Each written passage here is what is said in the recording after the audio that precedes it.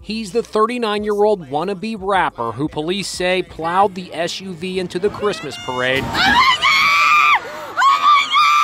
leaving a trail of death and chaos. Look, behind him in his music video, an SUV that looks like the vehicle seen in the rampage that left five dead and 48 injured.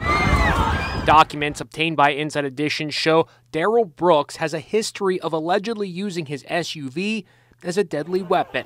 Just two days before Sunday's horror, he was released from jail on $1,000 bail, following an arrest for allegedly deliberately running over the mother of his child at a gas station. This little girl in pink was dancing in the street when the SUV flashed by, narrowly missing her. Moments later, it plowed into a high school cheer team. Oh my god, oh there's dead oh people. There's dead people everywhere, you guys. Meanwhile, the band played on, unaware of the carnage unfolding a block ahead of them. Then police cars came flashing by. About 10 to 15 people down in the street. We also got multiple carnival taxes.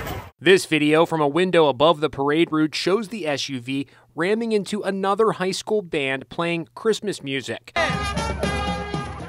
A spectator shot these shocking images, showing the SUV swerving wildly before bulldozing into the band at 40 miles per hour. He was accelerating through there. He, he didn't try to brake. There was no attempt to brake. There was no attempt to stop. And then just all chaos erupted. Also in the killer's path, the Dancing Grannies, a popular troupe of local seniors. Our group was doing what they loved, performing in front of crowds in a parade, putting smiles on faces of all ages, says a statement from the Dancing Grannies. The five dead were identified today. They range in age from 52 to 81. Virginia Sorenson, a 79 year old retired nurse with six grandchildren, was one of the Dancing Granny casualties. There's like seven injured that way. There's so many.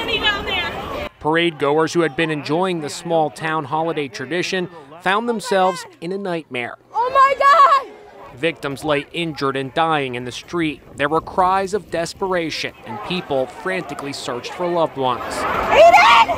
Aiden! Lisa! Chelsea! With my mama! With your kids! As the driver fled, narrowly missing more victims, a cop fired three times. Oh my God! Oh!